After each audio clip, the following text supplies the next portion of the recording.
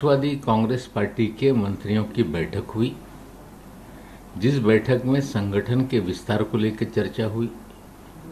बहुत सारे लोग पार्टी में आना चाहते हैं, उनको पार्टी में शामिल करने को लेकर चर्चा हुई और मंत्रियों के कामकाज, उनके विभाग के कामकाज का आड़ावा लिया गया।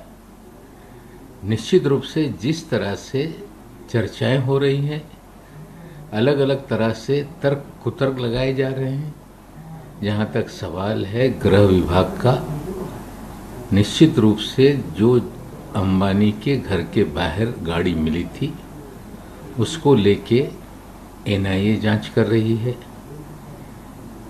मनसुख हिरेन की हत्या को लेके एटीएस जाँच कर रही है।